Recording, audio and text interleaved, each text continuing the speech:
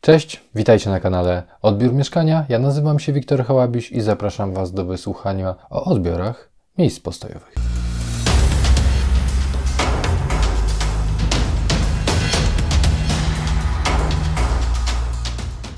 Kilka informacji z rozporządzenia o warunkach, jakim powinny odpowiadać budynki ich usytuowania.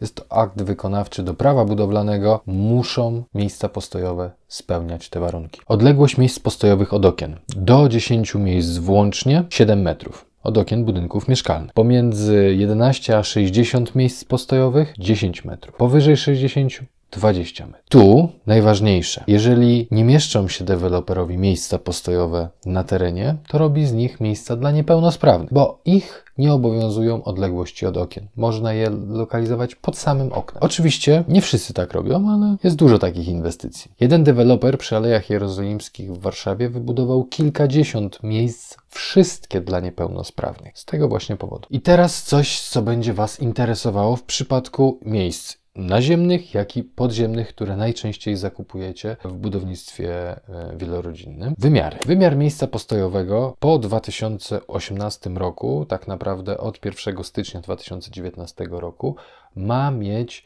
2,5 na 5 metra.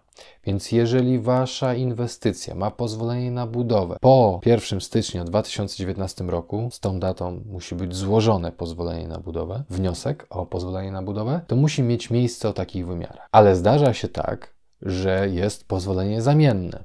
Ktoś dostał bardzo dawno temu pozwolenie na budowę, no i dalej buduje miejsca 2,30 na 5. To jest bardzo popularne w Skanska. Chyba wszystkie ich inwestycje, które odbierałem w ubiegłym roku, miały taki przypadek. W tym roku jeszcze nie byłem na, na żadnej inwestycji od Skanska, a większość deweloperów która ma stare przypisy, to i tak robi miejsca, stara się przynajmniej robić szerokości 2,5. Oni wtedy nie przestrzegają odległości, które, o których zaraz powiemy, ale przynajmniej mamy szerokie miejsca. Miejsca dla niepełnosprawnych muszą mieć wymiary 3,6 na 5. Więc jak sami widzicie, muszą być szersze, ale jak nie można nigdzie indziej, no to cóż, robimy wielki betonowy plac wymalowany e, miejscami dla niepełnosprawnych tylko dlatego, że nam się nie mieszczą inne. No ale takie są przepisy, tak budują deweloperzy. Miejsca mogłyby być dłuższe niż 5 metrów, miałyby 6 metrów, gdyby były usytuowane w sposób równoległy do drogi. Jest to bardzo rzadkie w przypadku budynków deweloperskich, wtedy się mniej miejsc mieści, prawda? Jeżeli są równolegle. Ale bywają takie miejsca, bo gdzieś coś nie weszło, to wtedy musi mieć 6 metrów. Skoro jesteśmy już w garażu, to on sam z siebie również musi mieć jakieś wymiary. Więc nad waszym miejscem postojowym mogą znajdować się instalacje na drogach wewnętrznych, które tam prowadzą e, na całej komunikacji w garażu również. I do tych instalacji musi być 2 metry. Stąd, kiedy wjeżdżamy do garażu, jest informacja, że samochód nie może być wyższy niż. No bo po prostu to jest najniższy punkt, który moglibyśmy zawadzić. Oczywiście wszyscy starają się robić to wyżej, ale te 2 metry to jest takie absolutne minimum. Jeżeli cokolwiek znajduje się poniżej 2 metrów, należy to zgłosić i to zostanie przeniesione wyżej. Oby. A jeszcze jest jeden wymiar podany w tych warunkach technicznych. To jest wysokość do konstrukcji, która ma wynosić 2,20. I ta rzadko, ale bywa niezachowana. W ubiegłym roku dwa razy miałem tak, że ocieplenie czyli tak naprawdę miękka warstwa, ona pomniejszyła tą wysokość. W innym przypadku na początku miejsca wysokość była 222, a na końcu 219. Zabrakło centymetra. No oczywiście tego strzelać nie będzie, ale brakuje. Odległości zewnętrznej krawędzi miejsca postojowego. To ważne, bo czasami pokazujecie mi, że jest spełnione, albo wam pokazuje ktoś, że a nie, nie, nie, i mierzą od y, wewnętrznej. Nie, jak jest narysowana linia waszego miejsca, to ona ma jakąś tam szerokość, nas ona nie interesuje, bo liczymy od zewnętrznej krawędzi waszego miejsca do ściany słupa. I to ma być 30 cm. Oczywiście możemy się zbliżyć do słupa na 10 cm pod warunkiem, że możemy swobodnie otworzyć drzwi. Ustawodawca założył, że taki słup znajdzie się na samym końcu miejsca, że będzie miał szerokość, nie wiem, 50 cm, ale miewam inwestycje, na których odległość miejsca krawędzi zewnętrznej, miejsca postojowego od słupa jest 10, a to są dwa szerokie słupy, które w żaden sposób nie umożliwiają nawet przejścia pomiędzy nimi. Zgodnie z normami, słup, jeżeli jego długość nie przekracza czterokrotności szerokości, jest słupem. Jeżeli ma już 4, coś, to jest ścianą. Więc podzielenie ściany na pół z małą przerwą daje nam dwa słupy. Przerwa jest na tyle duża, żeby zmieścił się szalunek i wystarczy. Taki to zabieg. Niestety po przecinku jest napisane pod warunkiem swobodnego otwarcia drzwi. Post na ten temat opublikowaliśmy e, w ubiegłym tygodniu i pojawiło się kilka pytań. Dzięki Waszym komentarzom mogę uzupełnić ten filmik o dodatkowe przydatne informacje. Minimalna wysokość bramy garażowej. Zwykle bramy garażowe są dużo wyższe niż przepisy wymagają, no ale może się trafić jakiś inwestor, który postanowi, że zrobi minimalną. Minimalna to jest 2 metry wysokości, 2,30 szerokości. I tak naprawdę jest to wymiar w świetle, czyli jak się otworzy brama do góry i troszkę nam zjedzie, bo ona ma taką tendencję, że potem troszkę opada, jak już odjedzie do samego końca prawie, to do tej krawędzi, która jest najniżej, ma być 2 metry. W szerokości 2,30. Tam jeżeli coś wystaje, daje coś, jakieś światełko sygnalizacyjne 2.30. To jest doprecyzowane w paragrafie 102 i 2. Czy miejsce postojowe w garażu w domu jednorodzinnym też wymaga takich odległości 30 cm od krawędzi miejsca? Tak, przepisy jednoznacznie mówią, że garaż może być jednostanowiskowy, wielostanowiskowy, nie ma to znaczenia. I tak samo jest z y, garażem wiatą. Jeżeli do niego wjedziemy, musimy mieć zachowaną swobodę otwarcia drzwi. Więc jeżeli deweloper sprzedaje Wam dom jednorodzinny, w którym jest garaż z miejscem postojowym, wiata, w której możecie zaparkować, to te słupy i ściany, które go tworzą, muszą dać Wam przestrzeń. 30 cm do ściany, 10 cm do słupa, jeżeli można swobodnie otworzyć drzwi. Przepis dotyczący tych odległości dotyczy się najdłuższej krawędzi. Jeżeli miejsce postojowe kończy się 5 metrów równo na ścianie, to jest wszystko w porządku. Oczywiście zaleca się, żeby była jakaś przestrzeń, żeby dało się przejść dookoła samochodu, bo dzisiaj samochody są tak duże, że te 2,5 metra ledwo starczają na te większe rodzinne auta. Najbardziej popularne auto Skoda Octavia ma 1,80 m szerokości, więc zostaje nam po 35 cm na stronę na naszym miejscu postojowym, plus 30 cm do ściany. 60 cm to nie jest wygodna przestrzeń Jednokierunkowa przestrzeń do przemarszu to jest metr. Parkujemy w osi, przodem. Nie jest to nigdzie sprecyzowane, ale takie zasady zostały przyjęte.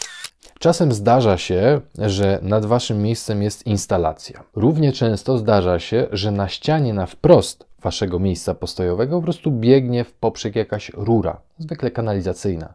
Gruba, trzysetka i ona nie jest na wysokości 2 metrów, jest na wysokości 1,50 m. No i pojawia się problem, bo ona jest w przestrzeni waszego miejsca. Możecie to zgłosić, bo nie ma być prawa tam być ta rura. I wtedy to miejsce postojowe zostanie narysowane 30 cm wcześniej. O ile szerokość drogi y, manewrowej na to pozwala. No ale również nie ma prawa tam być. Oczywiście, jeżeli parkujecie samochód, który wjedzie pod tą rurę, to nie ma sprawy, no zaparkujecie, da radę.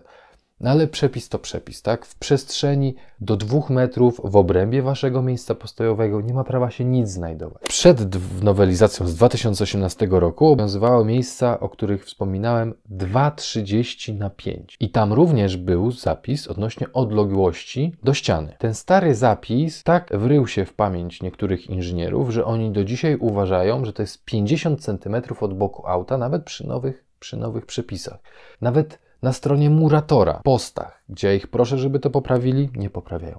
50 cm od boku auta przy miejscu 2,50 na 5. To jest błąd, to jest mieszanie starych przepisów z nowymi przepisami. Jeżeli mamy pozwolenie na budowę sprzed nowelizacji w 2018 roku, to nasze miejsce ma 2,30 na 5 i od boku auta, które parkujemy, uwaga, na środku, nigdzie to nie jest napisane, mamy 50 cm od boku auta do ściany. Czyli w rezultacie 20 cm od krawędzi, od krawędzi e, miejsca postojowego. Pytanie, jakiego samochodu?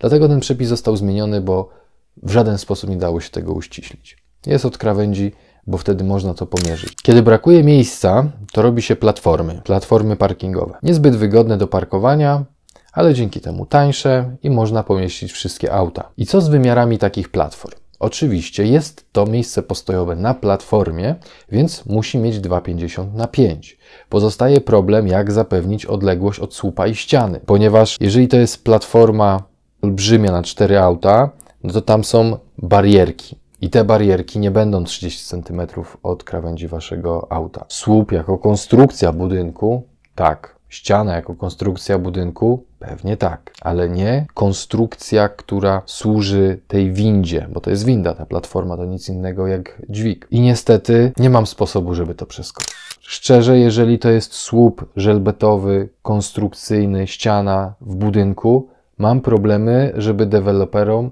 wyjaśnić, że popełnili błąd. W przypadku platformy, która ma dwa słupy, na którym się podnosi platforma, żebyśmy pod nią wjechali, a na górze już stoi samochód, jak otworzymy drzwi, zawsze uderzymy w słup tej platformy. Nie ma siły. Te platformy musiałyby mieć szerokość 310 a to zabierałoby tyle miejsca, że już chyba lepiej byłoby zrezygnować z platform. Gdybym miał klienta, z którym zrobiłem odbiór, po czym była ta platforma i stwierdziliśmy, że jest to problem i chcielibyśmy go procedować z deweloperem, pewnie doszlibyśmy do jakichś racjonalnych wniosków i udałoby nam się to zaargumentować przekopałbym się przez e, aprobatę techniczną dla takiej platformy i mógłbym Wam podać tutaj rozwiązania. Natomiast sztuką dla sztuki nie szukam rozwiązań problemów, które, których moi klienci nie zgłaszają. Jeżeli masz taki problem i chcesz go przeprocedować, ja przekopię się przez te informacje i znajdziemy rozwiązanie.